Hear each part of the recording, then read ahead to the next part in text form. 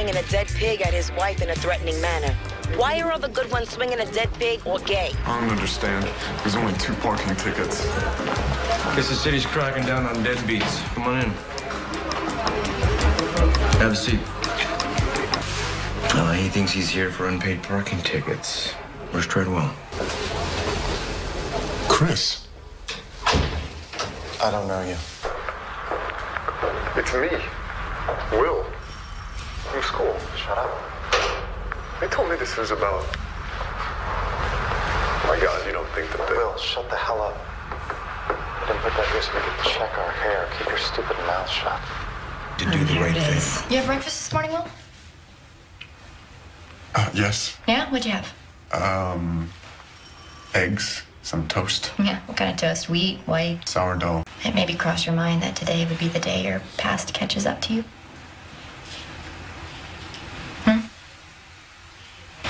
You went to Choate, right?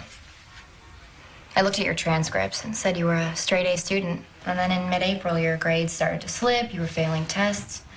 Just curious if there was, uh, if there was anything that happened that month that might have made it hard to concentrate. Well, my parents got a divorce. Oh, sure. That, I thought that was the year after. I'm talking about your junior year.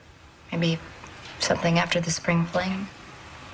Can I just pay for my parking tickets and go home? This isn't about parking tickets, and you know it. How much is your trust fund worth? It's like 10 million or 15 million? I bet you'd give all your ex-lax to forget about her. Margot.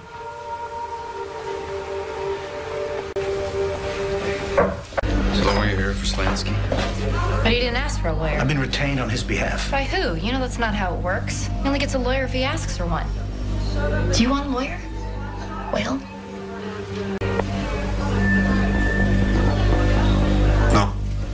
people who commit crimes, I mean normal people, not sociopaths, they have the most incredible memories. They can remember every little detail about something they did. It's the adrenaline. I think. You know, your heart rate goes up, everything else slows down. You know, I met Margot last night. She's got black hair now. You think I could get some more soda? Once a month, she walks into a police station and tells them she's been attacked. That's crazy. Yeah.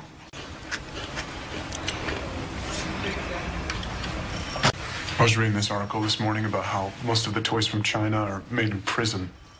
All the things kids play with being made by prisoners. Yeah? Why does that bother you? I don't know. But I had a lot of toys growing up. Anything I wanted. And like everything they bought me was a lie. The rich kids that I grew up with, I mean, the really rich ones, they weren't kids, but they weren't adults either. When I dropped out of college, my parents gave me a car. See? I thought I was depressed. Go to Europe. I said, take some time. None of it mattered. And as far as they were concerned, I never had to be anything. So I grew up to be nothing. Hmm. So what happened that night, Will?